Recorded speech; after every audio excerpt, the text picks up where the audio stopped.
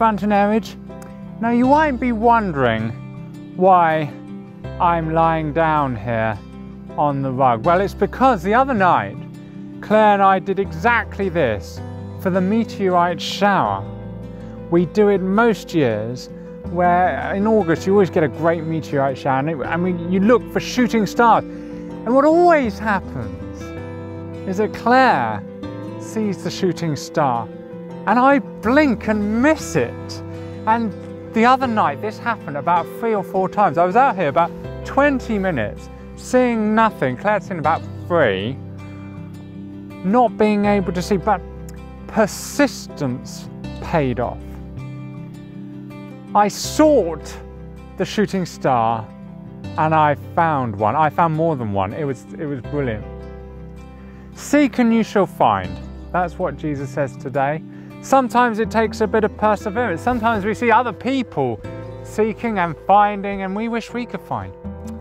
Well, today, let Jesus inspire you to seek God and to find Him here today. Let's start our service with a prayer. I'll just go and do it in the church though, because it's a bit weird to be doing it lying down. Let's go. Let's pray.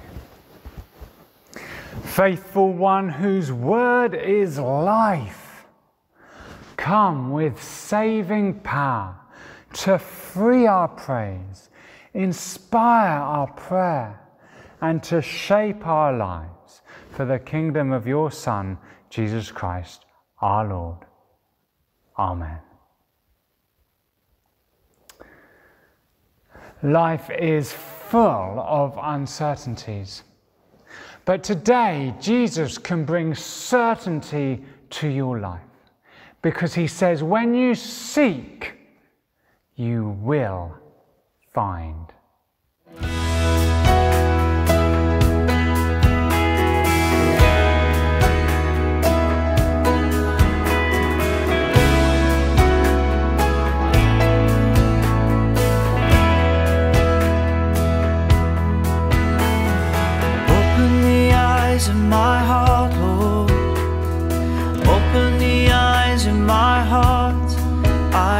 To see you. I want to see you. Open the eyes of my heart, Lord. Open the eyes of my heart. I want to see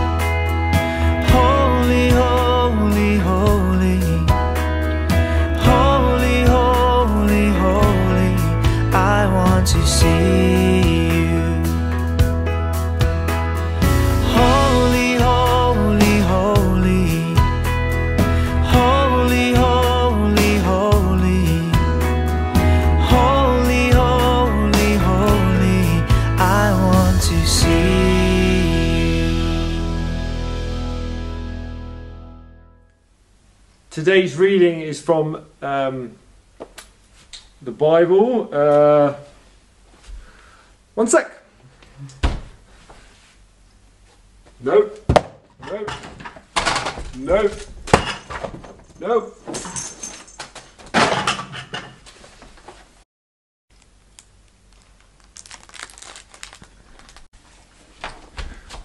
Got it. Uh, okay, so today's reading is on Seek and you will find. Seek and you will find. Uh, it's from uh, the Bible, um, the Gospel of Matthew, chapter 7, from verse 7 to 11. Ask and it will be given to you. Seek and you will find. Knock and the door will be open. For everyone who asks receives. The one who seeks finds. And the one who knocks, the door will be opened. Which one of you, if your son asks for bread, will give him a stone? Or if he asks for a fish, will give him a snake? If you then, though you are evil, know how to give good gifts to your children, how much more will your Father in heaven give good gifts to those who ask him? This is the word of the Lord. Thanks be to God. In our passage today, there is a progression of intimacy with God on offer by Jesus. Ask, receive, seek, find, knock, and the door will be open to you. When you ask, you can ask a stranger from a distance. When you seek, you can find a friend from a distance. But when you knock and the door is opened, that is a personal, close, homely relationship. There is a progression of intimacy with God on offer by prayer through what Jesus says. Let's look at it in turn. Let's think about asking and then receiving. Asking can happen without really knowing the person you're talking to. Hello, yes, yes, I'd like an extra large pizza, extra pepperoni, extra cheese. Oh, and no, you know those bites around the side? I love the bites around the side. The bites around the side, and uh, oh, gotta have some chicken, chicken wings, chicken strips, and uh, wedges, yes. Big bottle of Coke, that'll be great. Family, do you want anything? You can talk on the telephone with someone who you don't know. Prayer often starts for people in a moment of crisis, something terrible happens, and they just instinctively, or naturally, pray to God. I think almost everyone does that. But there's a sense in which they pray to God they don't really know. And yet, God is God. He is loving. He is merciful. He loves to hear our prayers. If you ask Him, you will receive, says Jesus. Jesus has said a number of times in the Sermon on the Mountain, we've looked at it already, where God will provide for our needs. That's what Jesus says. He provides for us now in the food that we eat, the clothes that we wear, and things like that. But ultimately, He provides for us, even in death, a heavenly kingdom to come. And that is His ultimate provision. At the end of the day, that is our deepest longing and asking of God, isn't it? That He would save us from even death itself. So when we ask, we will receive. Not always in the same way that we think we're going to receive, but God will give us what we need. And it's all found in Jesus and what He's done for us by His cross and resurrection. Healing, ultimately found in Jesus even found in death. Provision found in Jesus ultimately as provides salvation and a home in heaven. But prayer can go deeper than that, deeper than just asking and receiving. And Jesus wants to lead us into that deeper relationship with God today because today you can seek and find. There is this progression. Now, when we're seeking, we don't just ask from afar, like on a telephone call, we don't really know them. We're seeking to know someone.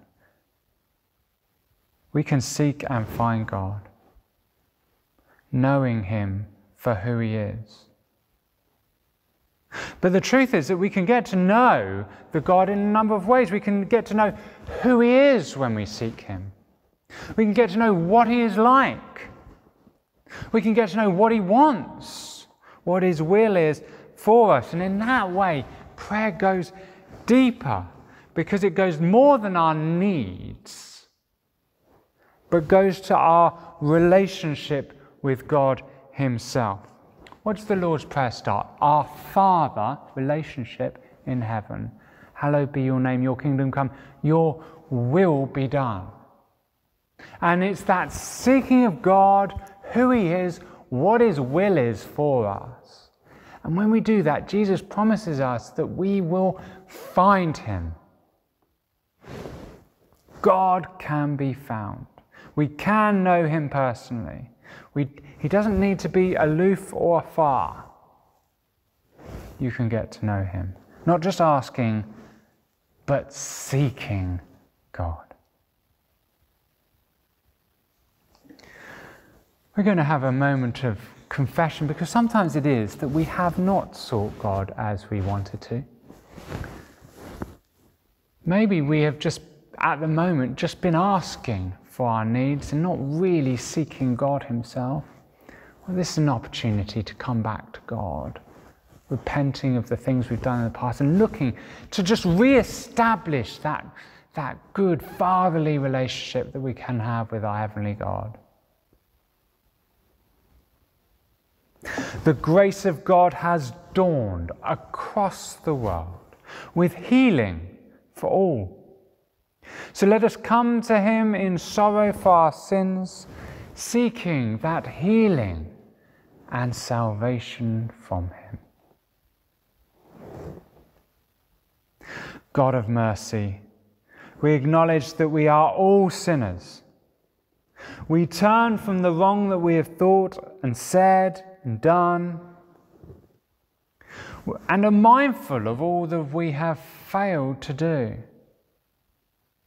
For the sake of Jesus, who died for us, forgive us for all that is past, and help us to live each day in the light of Christ our Lord. Amen. May the God of love bring us back to Himself, forgive us our sins, and assure us of His eternal love in Jesus Christ our Lord. Amen.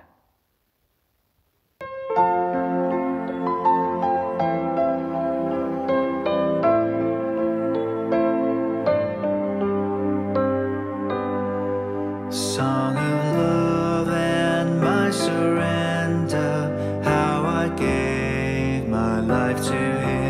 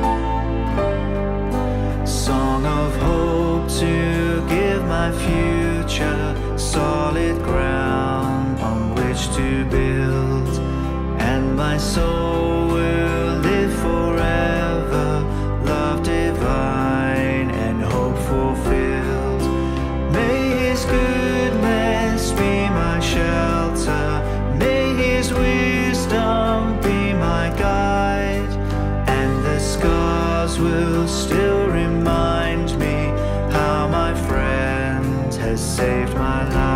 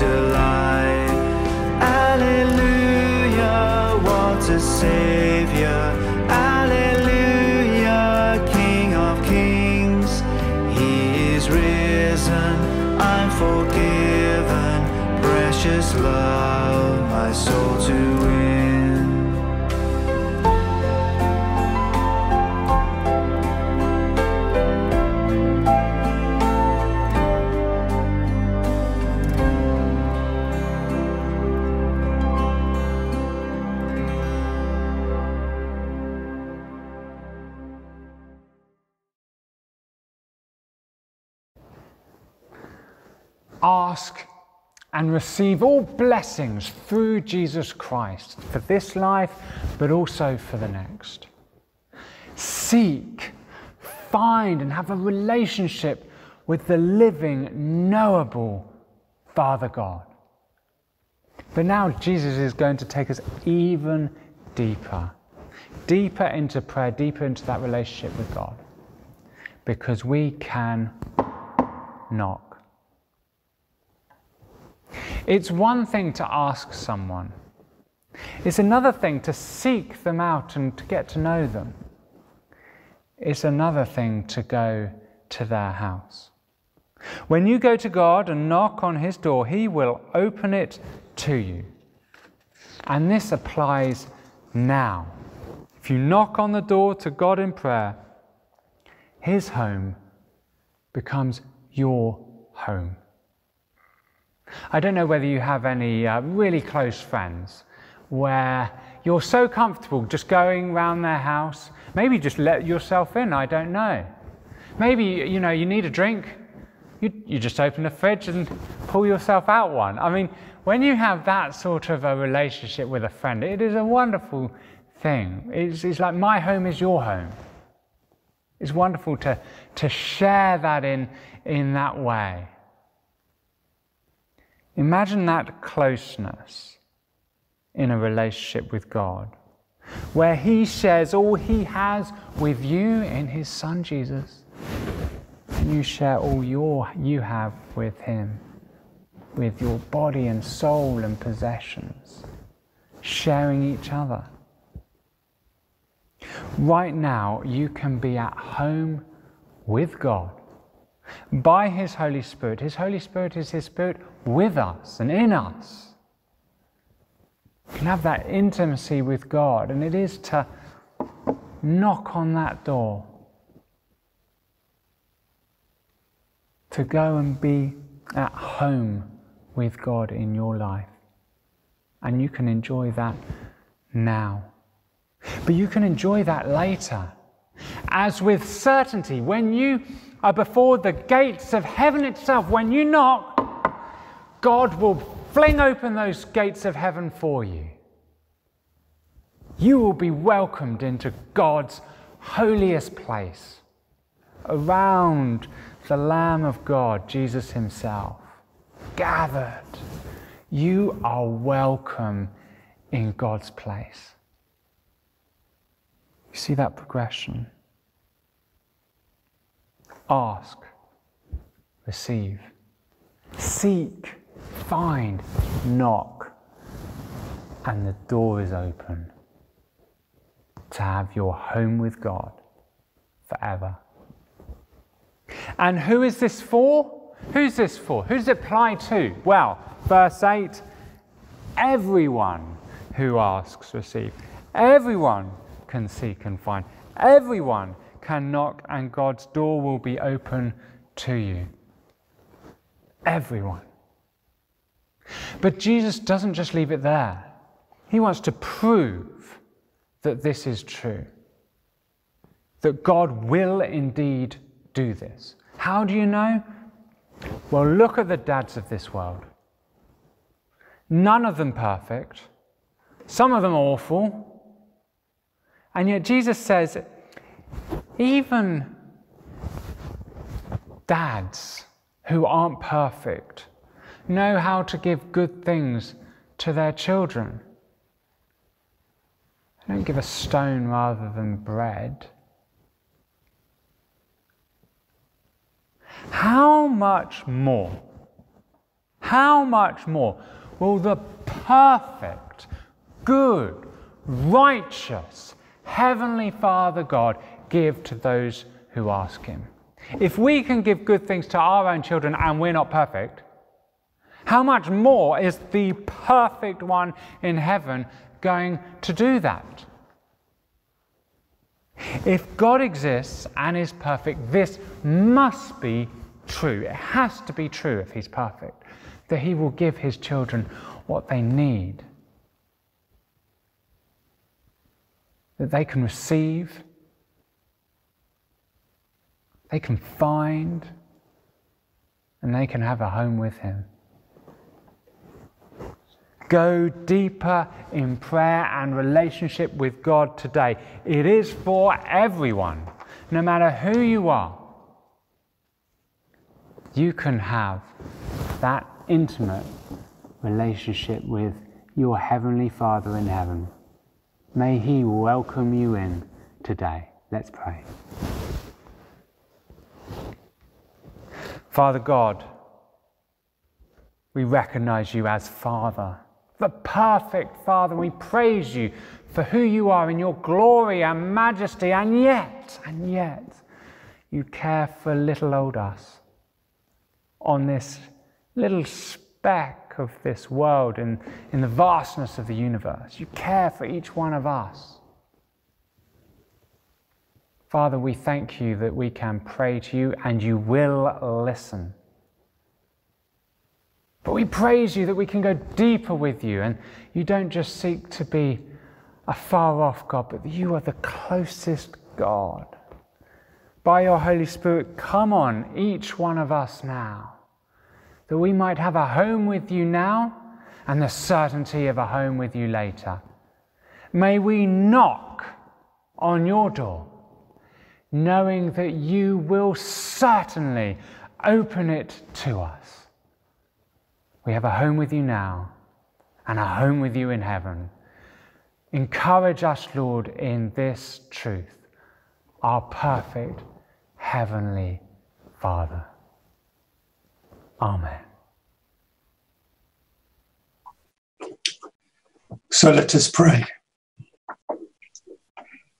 Father, we thank you and praise you for this new day, a new start and a new beginning in our lives.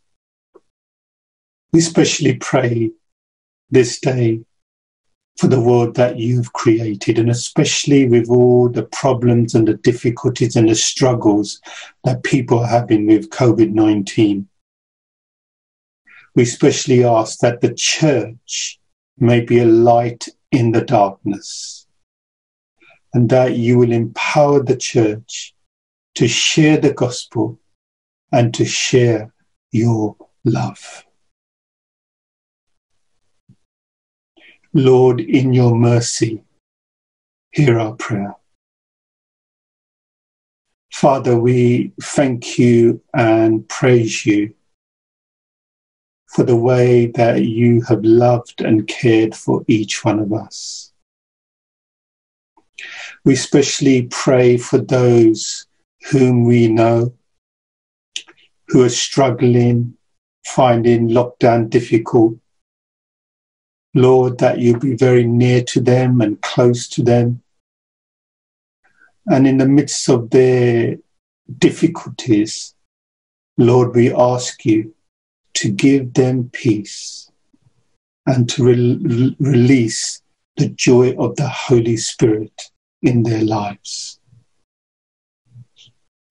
Father, we think of all those who are sick at this time, all those who are feeling lonely, all those who are struggling with health.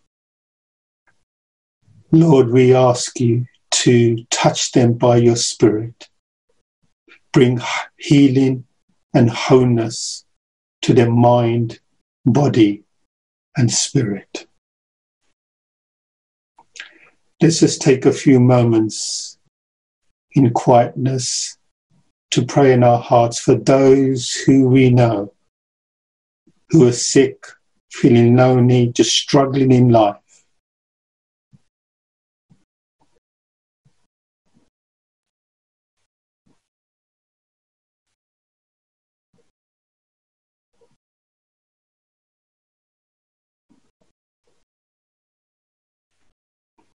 Lord, in your mercy, hear our prayer. Father, we thank you and praise you for the way that you've caused the church to help people in this country.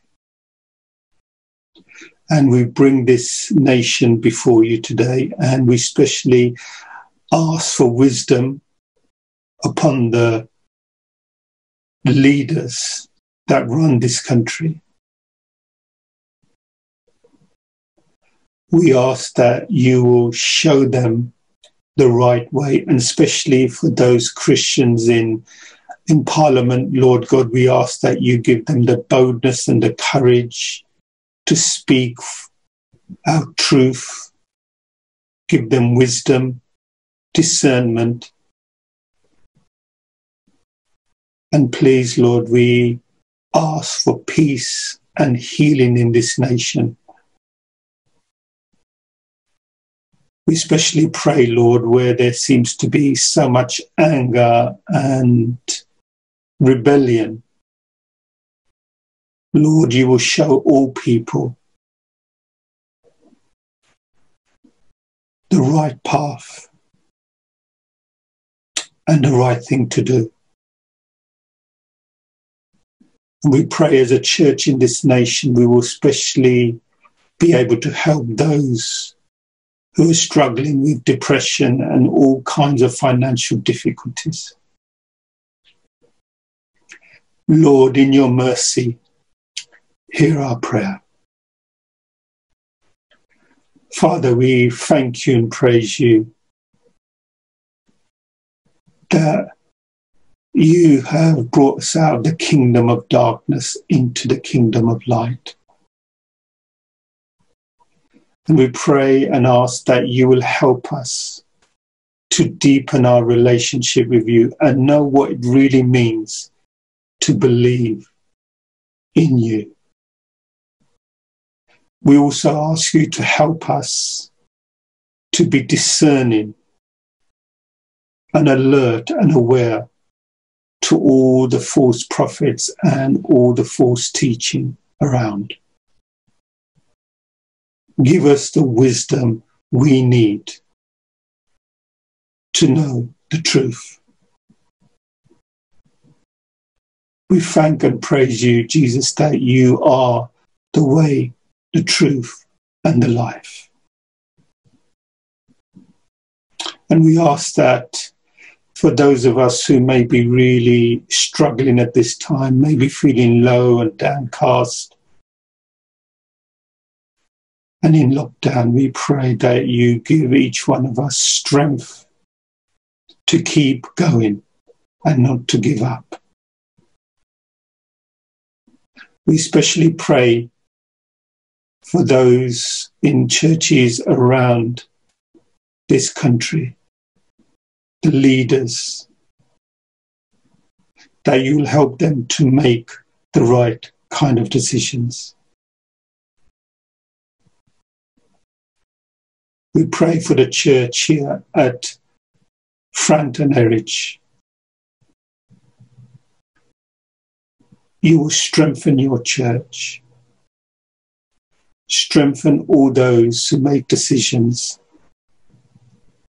And we ask for your blessing and healing upon all families.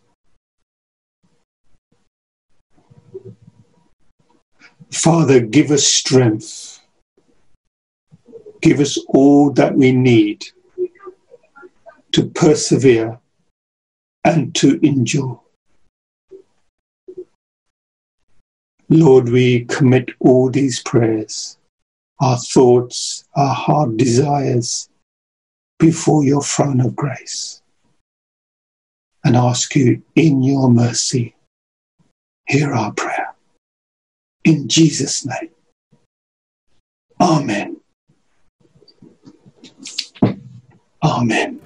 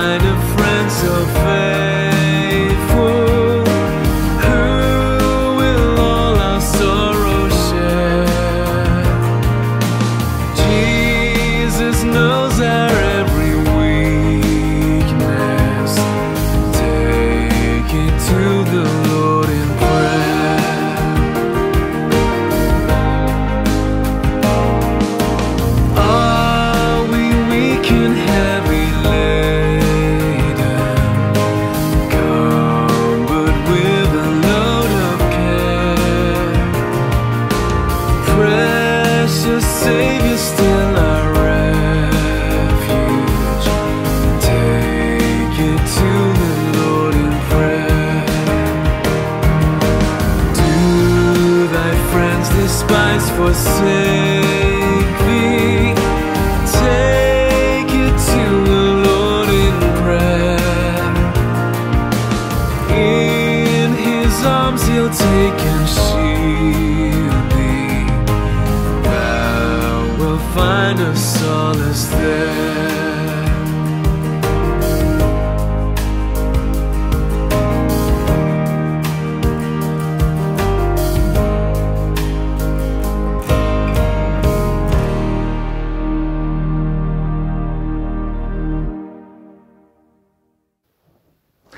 thank you for joining us for our online service here at Frant and Eridge. It's been wonderful that you can join us here online for this, our main service. Let's pray as we finish today. The love of the Lord Jesus draw you to himself. The power of the Lord Jesus strengthen you in his service. The joy of the Lord Jesus fill your hearts, and the blessing of God Almighty, the Father, the Son, and the Holy Spirit be amongst us and remain with us always. Amen.